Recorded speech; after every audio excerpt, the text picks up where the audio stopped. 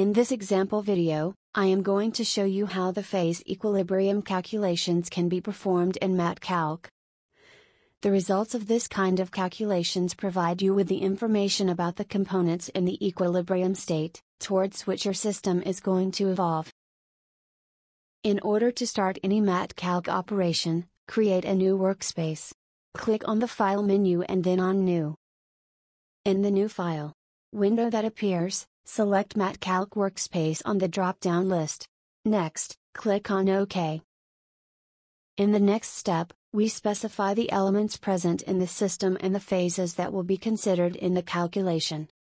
Click on the Global menu and then on Databases. A new window MATCalc setup, Thermodynamics appear, in which, we will open the thermodynamic database containing the required data. Click on Open button. In this example, we will calculate a steel system, so click on MC, FETDB and then open. In the elements list, select aluminum, carbon, nitrogen and titanium next to iron and vacancies, which are already selected by default.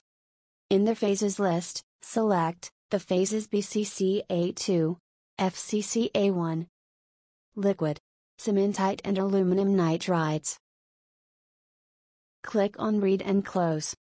Now, it is time to define the initial composition of the system. Click on the Global menu and then on Composition. In the Nominal Composition window, select Weight percent on the bottom.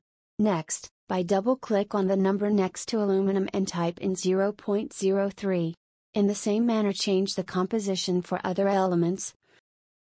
0.2 for carbon, 0.006 for nitrogen and 0.01 for titanium. Afterwards, click on OK. In order to find an equilibrium state smoothly, it is recommended to click on Set Start Values in Calc menu before. This will set some hypothetic values for the system. Now, the equilibrium calculation can be performed. In Calc menu, click on Equilibrium. In the Calculate Equilibrium window, the temperature and pressure values can be set. Leave the default values of 1000 degrees Celsius and 101,325 pascals and click on Go. You will notice that the content of the MATCalc windows changed. In Phase Summary window, the equilibrium phases are shown on the top, while the unstable are listed in the inactive list. Additional information about the phase fraction and driving force can be also found there. In the phase details window, information about the Gibbs energy and composition for every phase is also displayed. You may notice here, that MATCalc created another phase FCCA1-01 with the composition corresponding to titanium carbonitride compound. Next to the iron-rich, FCCA1 phase corresponding to austenite. In order to gather information about the equilibrium phase in a temperature range, a stepped calculation can be performed. In Calc menu click on Stepped Calculation. In the Step Equilibrium window, the parameters of the calculation can be set. With the default settings, the temperature will be the varied parameter with the variation range between 1600 and 400 degrees Celsius and the step interval of 25 degrees. Leave these settings and click on Go.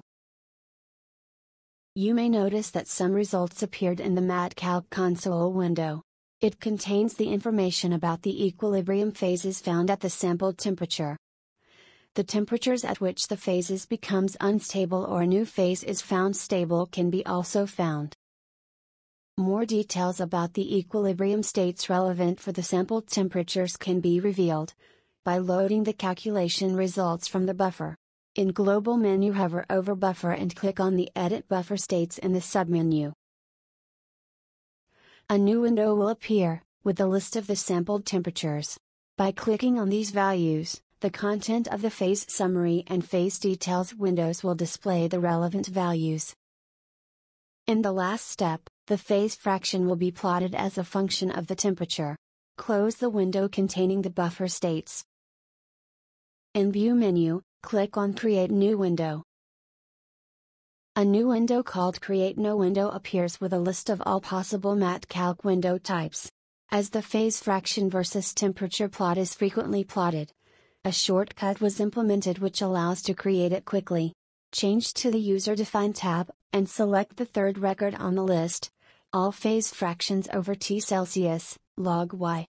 Next, click on OK.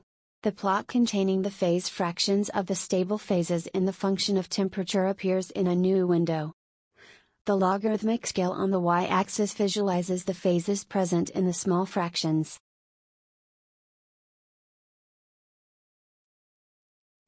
You can learn more about how to work with MatCalc by viewing other example videos.